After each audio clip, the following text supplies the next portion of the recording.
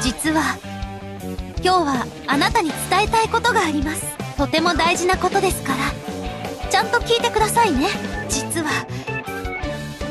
実は小鳥に衣装のスカートを長くするように言い続けて今回はついにスカート丈の長さを勝ち取ったんです。はあ長かった。ここまでの道のりは本当に長いものでした。どうですか？このクラシカルなメイド服。ふんわりと長いスカートに豪華なフリル。ウェイトレスにぴったりだと思いませんか？あすすみません。嬉しくてついはしゃいでしまいました。今回のメイド服はステージ衣装と喫茶店でのお手伝い服を兼ねているんです。お手伝いができるのも楽しみですが。いつかウェイトレスではなくあなたと一緒に喫茶店でパフェを半分こしてみたいです。あすすみません。嬉しくてつい変なことまで言ってしまいました。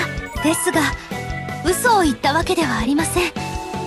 あのよろしければ今度喫茶店に行きませんか？